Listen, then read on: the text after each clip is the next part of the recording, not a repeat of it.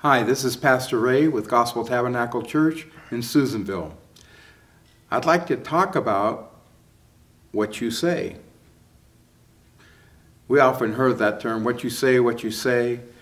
Uh, people uh, hear things that you have said and, and wonder, what did that person say?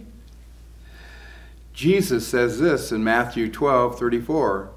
He says, Out of the abundance of the heart, the mouth speaks. Now, the heart is a metaphor for our mind, will, and emotions. Uh, from those three areas, our mouth speaks.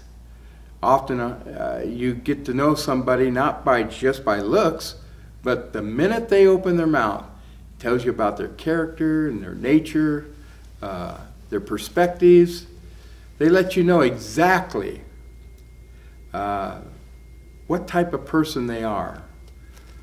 So, if you have darkness in your mind, will, and emotions, darkness is going to come out.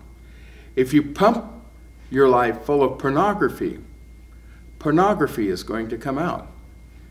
If you pump your life full of the Word of God, the Word of God is going to come out, the words of life. Out of the abundance of our mind, will, and emotions, we speak. What's coming out of your mouth? Maybe it's time for a change. This is Pastor Ray.